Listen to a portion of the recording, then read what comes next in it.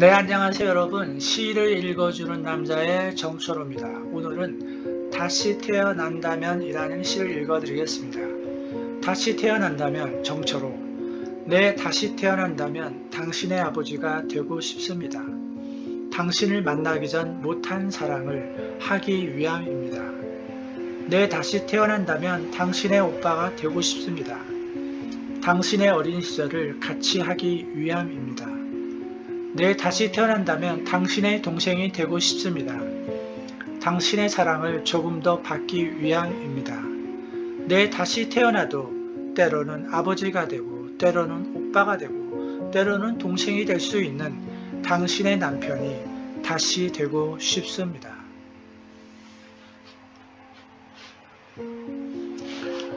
불가의 시절 인연이라는 말이 있습니다.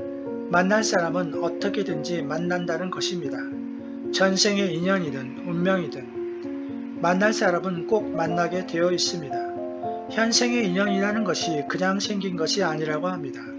전생부터 인연의 끈에 의해서 현생까지 연결되어지는 것입니다. 인생에서 누군가를 만나고 사랑하고 결혼한다는 것은 엄청난 것입니다. 바로 전생과 현생과 후생까지 연결되어지는 것입니다. 요즘 말하는 멀티버스, 다중 우주에서도 인연은 계속 이어지고 있습니다. 사랑은 모양도 없고 보이지도 않는 추상 명사입니다. 하지만 그 끝은 보이지는 않지만 그 끝까지 가보고 싶습니다.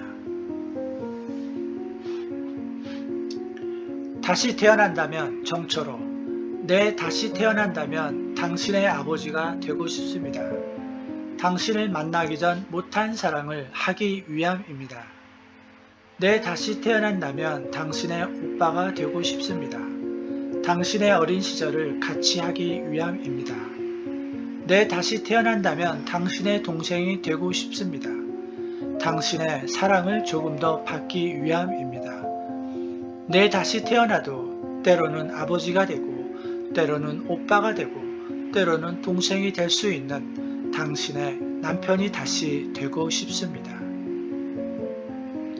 네, 오늘은 다시 태어난다면 이라는 시를 읽어드렸습니다. 감사합니다.